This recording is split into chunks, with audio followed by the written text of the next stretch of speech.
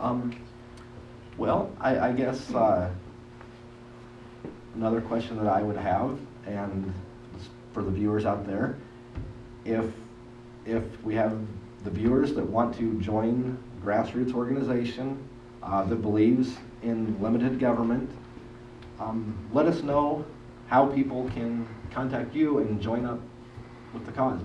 I guess, start with Well, the Campaign for Liberty has an online site. Um, if you join the national organization, you also belong to the, the state organization, and actually, most of your information will come from the state.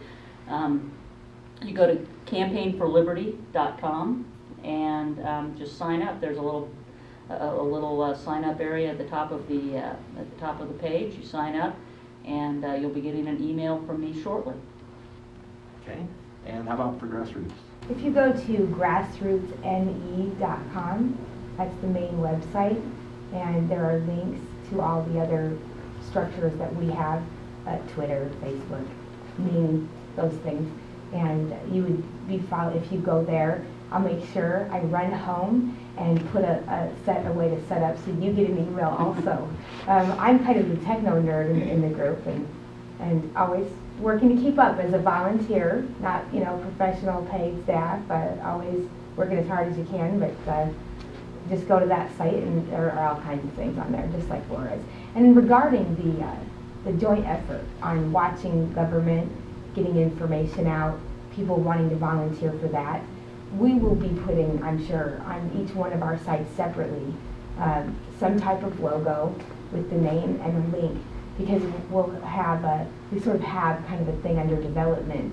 People can go and join up with that. So we still have to work all the details out. Yeah, We're getting early and, and Give Me Liberty TV has gotten that information before anybody else, so, Right? yeah. Great.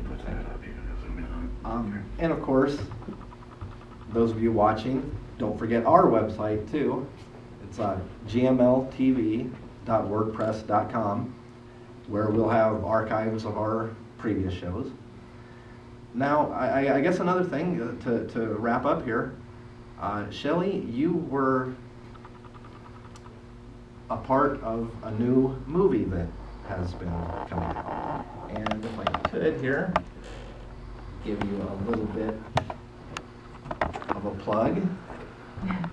Uh, yes, it start, it's all part of, of really the activism. It, it sprung out of that. I happen to have been networking with a lot of people in many other states, one of which was the state of Louisiana, which most people in, in the country probably don't know.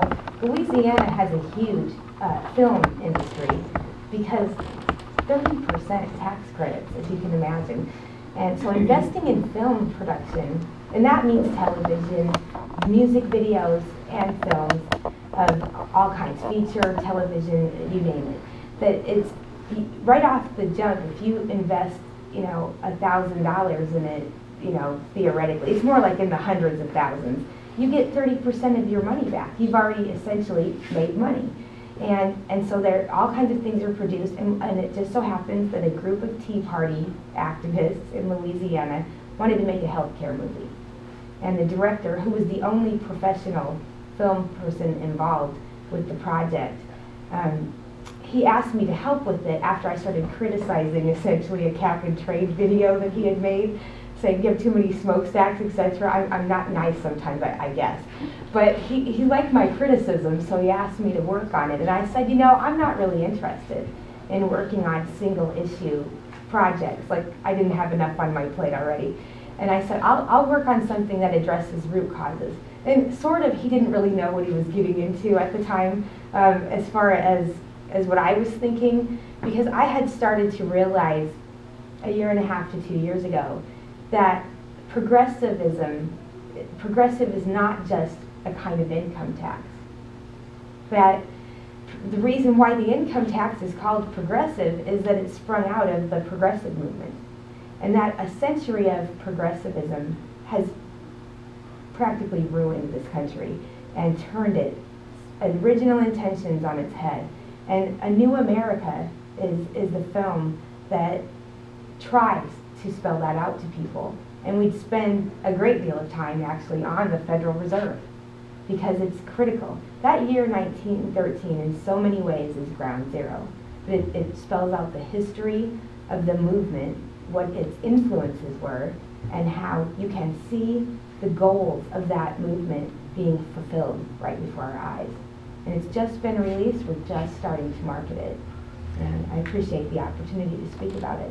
Oh, no problem. Um, because I, I've seen, I've seen the movie and I've just gotta say, it's, it is an excellent movie. And there is such a huge amount of information in, in that movie. And I think a lot of it is, is key to get out to the American people because a lot of this stuff, you know, for whatever reason, you know, blame our education system or whatever, you know, American citizens just don't know. Um, and so, you know, education is, is, is a key goal, and this movie has tons of uh, information.